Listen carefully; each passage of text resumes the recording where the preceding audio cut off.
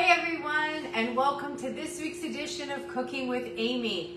And it looks like we have a lot of stuff going on, and we actually don't. We just happen to be using some really good things. This is an exclusive recipe that I have been working on, so you guys are in on it. Um, we have a few things, there's some tips and tricks that I'm gonna share with you guys today.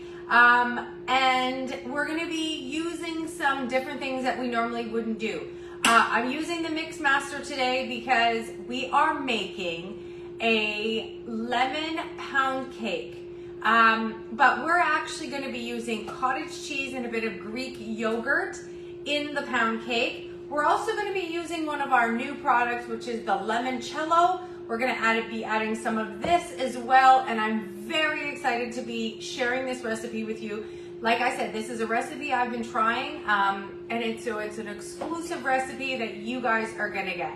Um, so the very first thing that we're gonna do is we're gonna use the mixer, and we're gonna actually take a container of cottage cheese, um, and we are just going to blend it down completely so it is smooth, uh, similar to what a ricotta would be.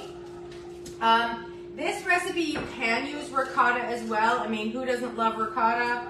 Uh, I, I love ricotta. Um, so we're gonna take the container of cottage cheese and we're just gonna put it all in. Now, I normally use a high-fat cottage cheese, so 2% or better. I also, when it comes to cottage cheese and baking with it or cooking with it, I don't spend a lot of money on my cottage cheese.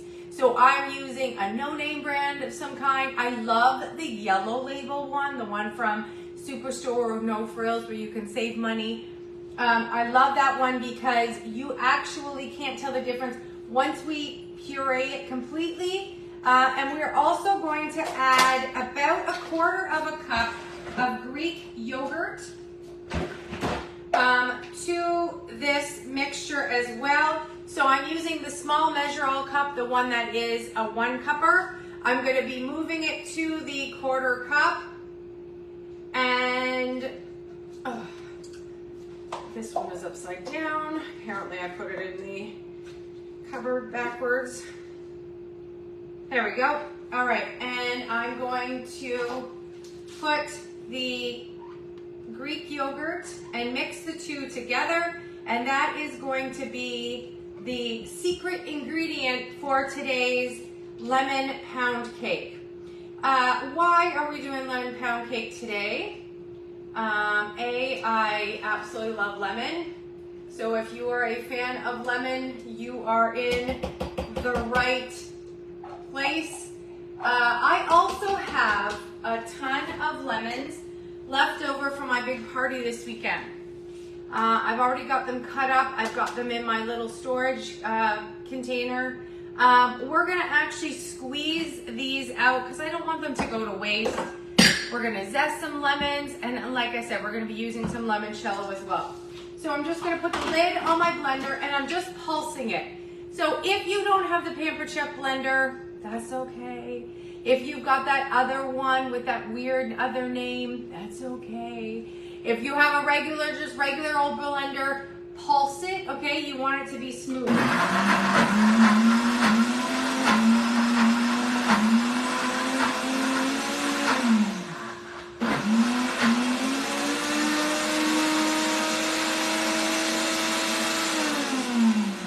gonna stir it up a little bit. Okay. I want it to be very, very smooth. I don't want any chunks in it. Don't want us to know that there's cottage cheese. How about that? Okay.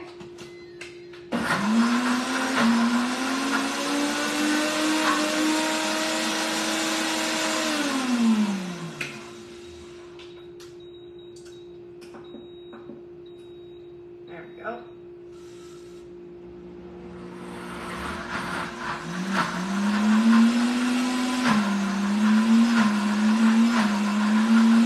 All right. I wanted you guys to see this process. Like I said, I want it to be very, very, very smooth. You're not gonna taste the chunks of cottage cheese. So if you are not a cottage cheese fan, you're seeing this, you're just jumping on now, and you're freaked out, don't be, I promise. Okay.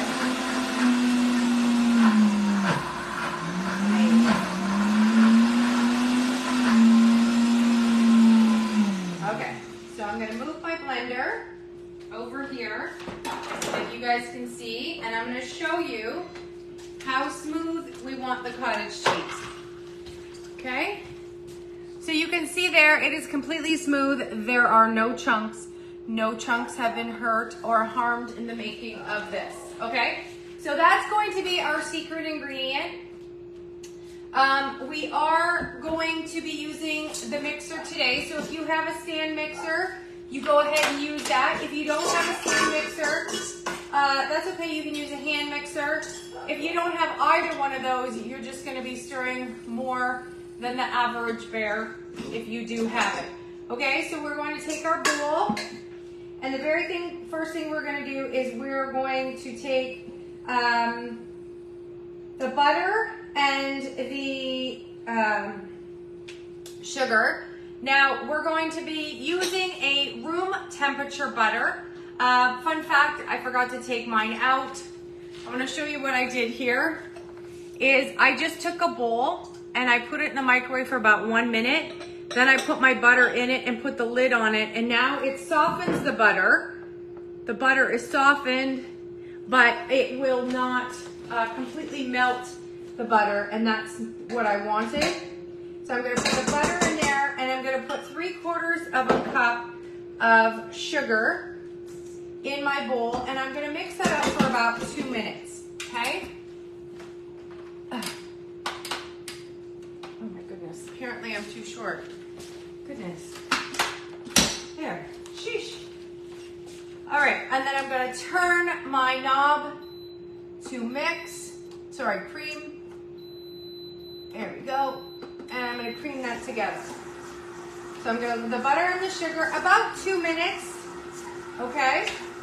Check out my new gorgeous scoop. I don't know if you guys did see it. This is in the new spring launch. Uh, this does up to one cup, so I just did three quarters of a cup of sugar in there. Absolutely love it, okay? After this creams for about two minutes, we're gonna add the cottage cheese mixture, and I need about one cup of that, okay? So I'm going to use my other measure all cup, and I'm gonna put it to the one cup, okay? There it is, right in front of me. And I'm gonna take a cup of our mixture, measuring that out.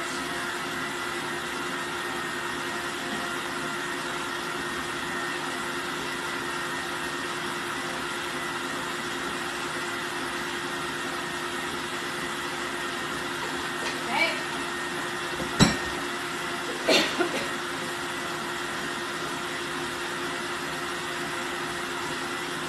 All right, I'm gonna add the ricotta cheese to the mixture.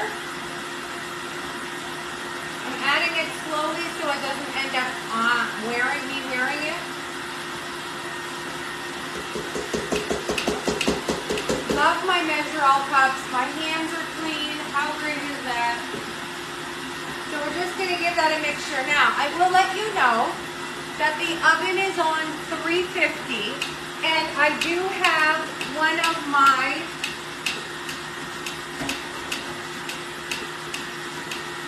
silly sound. I think it's just whipping. Um, I do have one of the stone loaf pans already in the oven. I like to preheat my pans when it comes to a loaf or a bread, something like this. So it is already in the oven at 350 degrees and it is doing its thing while we're doing our thing here. Okay, so we've got our ricotta and we've got our butter. Well, maybe that's why it's sitting crooked. All right, I'm gonna give you a look-see here so you can see what the mixture actually looks like. There you go. So we've just got the butter and the sugar and the ricotta have creamed together. I'm just gonna scrape down the sides a little bit there.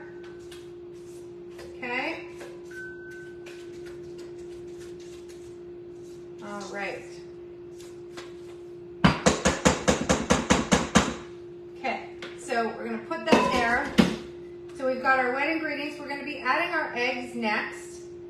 Um, so we're gonna add the eggs and then we're gonna add a quarter of a cup of the lemon juice and some lemon zest, okay? So this morning I actually already went live. I did another live earlier uh, with my group, my networking group, and I had to use an egg for um, an egg wash.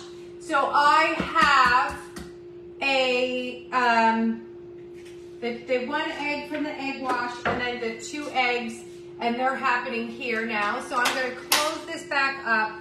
I'm gonna start it again and I'm just gonna use it custom for one minute and I'm just slowly gonna add the egg one at a time to the mixture.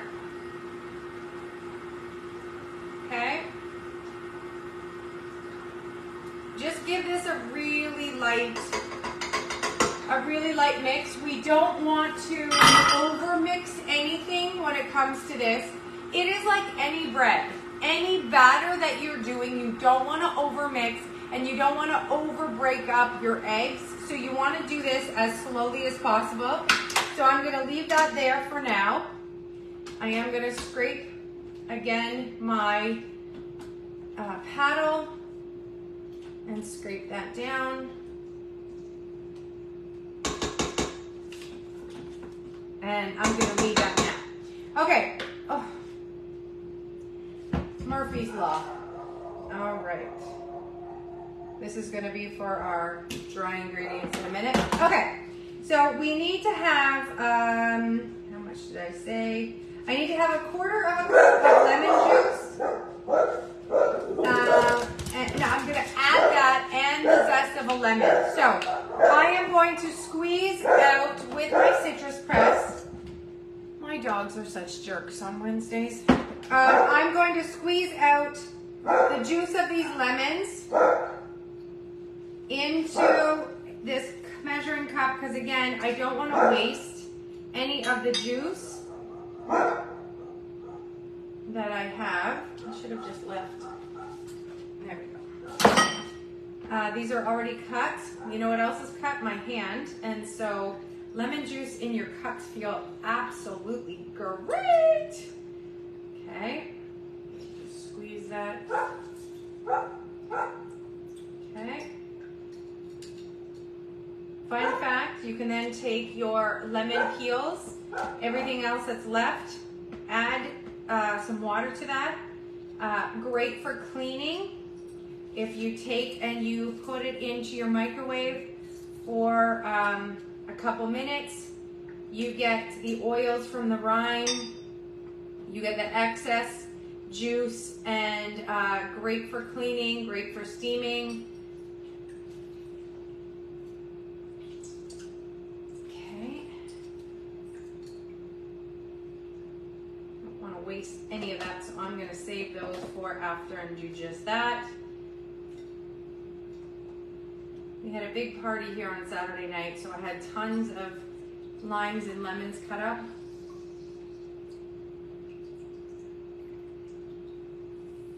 All right, let's see what we're doing here. So we need a quarter of a cup of that, and then we're gonna take the rind as well.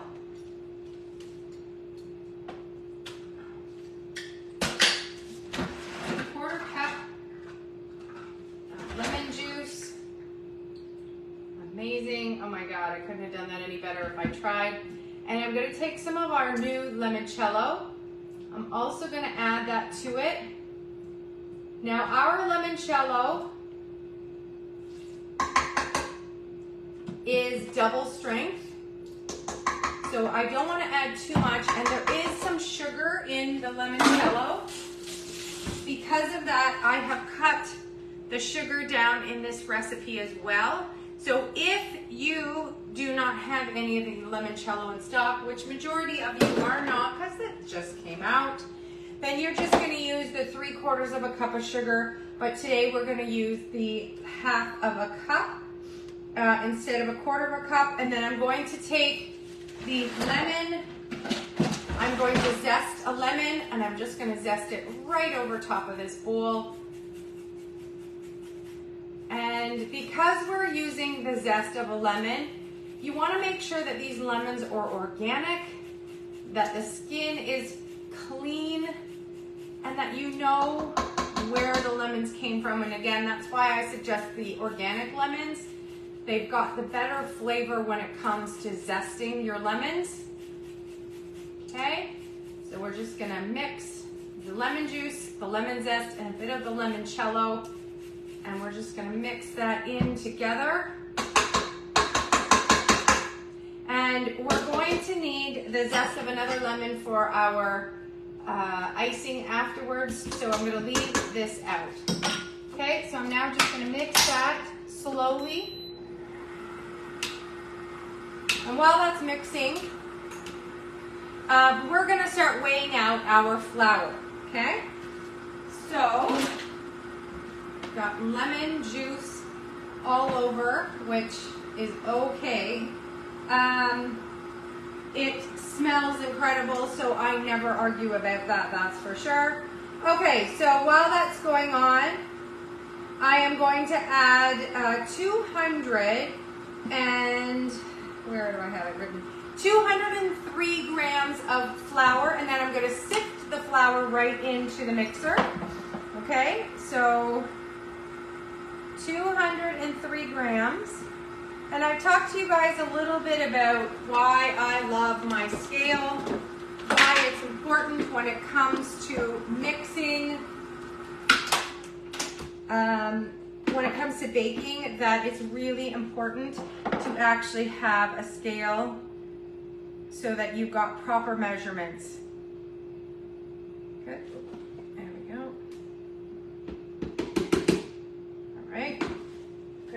Any better if I tried. All right, and now I'm gonna just take the bowl out. Just gonna show you guys here. We've got the uh, lemon zest. We've got a little bit of limoncello. We've got a half of a cup of, of uh, sugar. We have three quarters of a cup of butter. And we have a cup of the cottage cheese, and that's all happening there. I'm gonna take my baking soda, uh, and I'm gonna add it to my bowl. Now, I am normally, when it comes to this recipe, I use regular uh, salted butter. Because of that, I am omitting any salt in here. If you're gonna use an unsalted butter, you're gonna use a half of a teaspoon of salt instead.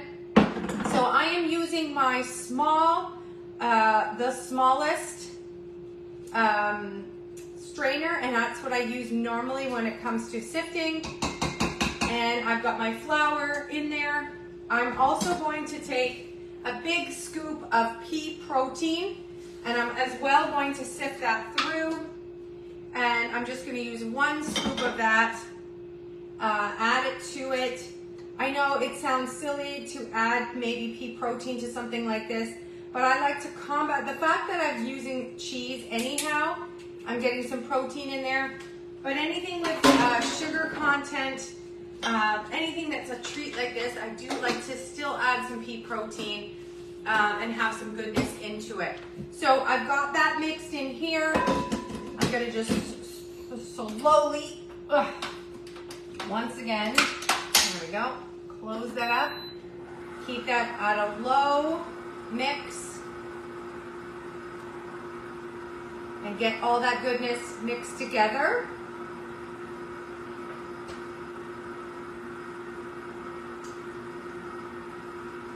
Now, again, I've got my, um, I have my pan on the, in the oven as we speak. I am still going to spray it with kitchen spritzer. I'm gonna bring you guys along so you guys can see that. Just gonna give this one extra little mix. And then I'll show you what the batter looks like. It's got that creaminess to it because of the fact that it's got the cheese, it's got some eggs. So, and it's got the pea protein in there. Just mix that in here and then I'm gonna show you guys what it looks like and then we're gonna go to the oven. Now this is gonna cook on a 350 degree oven and it's going to cook for approximately an hour. Um, and again, everyone's ovens are different. I normally set mine to 50 minutes and then periodically check it after the 50 minute mark. I am going to lay a piece of tin foil on top because I don't want it to get super, super brown, but I want the insides to be cooked. I'm gonna show you what the batter looks like. Okay, so it's a nice thick cake batter there. And I'm gonna take you along here to the oven. So I'll turn you around for a second. Here we go. So I've got my pan here in the oven. Okay, it's already got the heat. Now I'm gonna use my kitchen spritzer and I'm just gonna pump it to get the pressure going in it. This is just a vegetable oil. You can use any oil that you might use, avocado, coconut. Um, and I'm just gonna spray it right into my pan, giving that a good coat so it will not stick. Now, fun fact, you wanna let out your pressure and then do it back up and then your little snap back. You don't want the pressure to um, expand the bottom of it, so you always wanna make sure that you get that pressure out. Okay, so I'm just gonna put my batter right inside my pan, my nice hot pan. You can kind of, I don't know if you guys can, but you can kind of hear it sizzling. Just gonna spray that down, or spread that down, not spray, we just spray. There we go. All right. Mm, so good. All right. We're gonna close that up. I'm gonna put a piece of tin foil and I'm just gonna lay it over the top.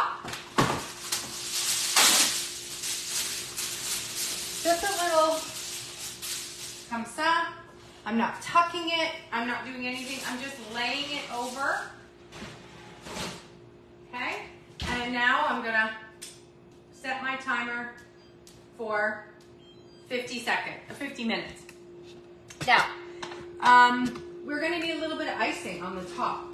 I mean, it is, it is cake. So we're gonna need a little bit of icing. So we're gonna quickly whip up an icing to go with our delicious uh, lemon pound cake with our secret ingredient. And we're going to take the mixer, move that over. Okay, so we've got our icing sugar, basic icing sugar, and lemons. And I'm gonna squeeze a little bit of the limoncello in there. So we need um, about a cup of the icing, like powdered sugar. Okay.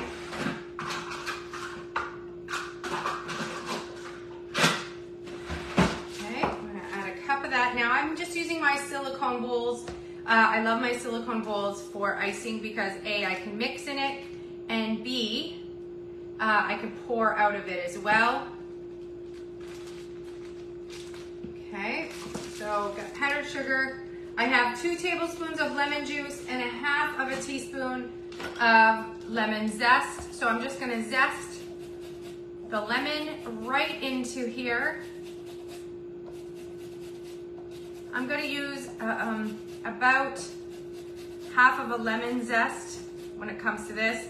And then for the actual cake itself, after the cake has cooled, and you're gonna let this cake cool afterwards, still in the pan, for about an hour on your cooling rack. Don't take it out of the pan for that hour. It's still gonna cook a little bit on its own in the pan and you want it to get evenly cooked. So you wanna leave something like this in your pan for about an hour. And then when you pop it out, let it cool maybe another 10, 15 more minutes, then you can ice it, okay? Okay, so we've got our lemon zest sitting right on top of our icing. And then we're going to need um, a half of, sorry, two tablespoons of lemon juice. So what did I do with our, ah, I'm gonna take one squeeze of our limoncello, and then I'm gonna take some more of our lemons. Goodness, I feel like I'm losing everything here. And I'm gonna squeeze out maybe close to a tablespoon and play around. If it's too thick, I add more juice. If it's too thin, I can add more powdered sugar. I'm gonna use the all-purpose spreader. You want it not too thin, not too thick. Right now that's not enough, not even mixing. So I'm gonna add some more juice to that. Go. And then, like I said, we're gonna let this cool. It's gonna cook in the oven for about 50 minutes, uh, 47 more now. Um, and then we're just gonna let that cool for about an hour before we take it out of the pan. And then we will add the icing. Goodness gracious, hot mess. Or klutzy, or both. Um, all right, squeeze some more there. And there we have it. We're gonna have a lemon pound cake with our hidden ingredient of cottage cheese with a little bit of Greek yogurt. We're gonna let that sit and then we're just gonna glaze that with our gorgeous lemon icing. How great is that? So this recipe is gonna be over on the VIPeeps page. Uh, like I said, it's an exclusive recipe I've been working on. Um, absolutely delicious. Uh, can't wait for you guys to try it and let me know how you enjoy it as well. Uh, thank you all for being here. Uh, sorry I missed you last week. A little bit busy, but so glad that you're here. And stay tuned for this gorgeous lemon pound cake uh, with our piece de resistance and including a delicious limoncello uh, icing that we've got going on there. So have a great rest of your Wednesday. See you on over onto the VIPeeps page. And anybody who has placed an order on the sale last week, your order is ready here to be pick, picked up.